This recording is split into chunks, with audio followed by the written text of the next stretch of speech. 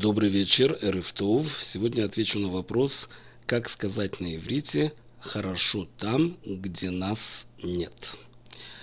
И для этого мы прочитаем диалог, в котором участвуют наши козы Рэмбо и Мини. Вы сейчас видите на фотографии это Рэмбо. Несмотря на то, что он маленький по размеру, он очень активный. И убегая на территорию соседа, он умудрился сломать соседу большое дерево, яблоню. Очень неудобно перед соседом, нам пришлось сейчас забор отремонтировать.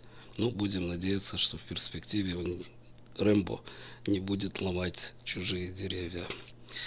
Давайте прочитаем диалог. רמבו, למה אתה בורח לגינה של השכן? כי לשכן יש דשא.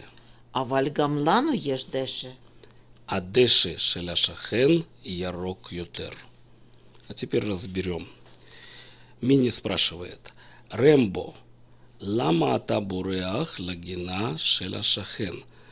Рэмбо, почему ты убегаешь? Буреах это убегаешь. Лагина на Гина это палисадник или огород, небольшой сад возле дома. Лагина шеля шахен в палисадник, в огород соседа.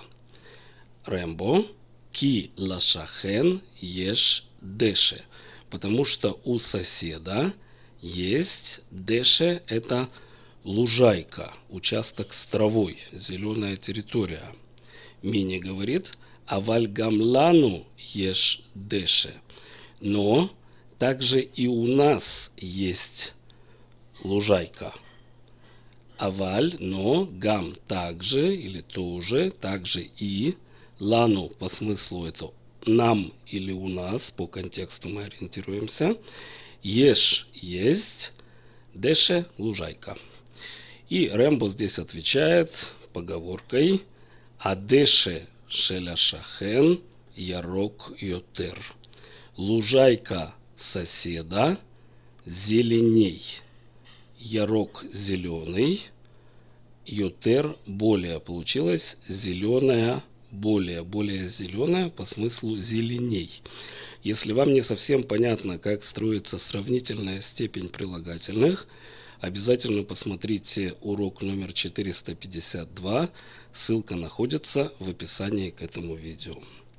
Теперь вопрос, может быть, можно перевести выражение «хорошо там, где нас нет» дословно, и мы получим по смыслу примерно то же самое – можно попытаться, но, скорее всего, нас не поймут, потому что не все устойчивые э, слова-обороты, не все выражения мы можем переводить дословно.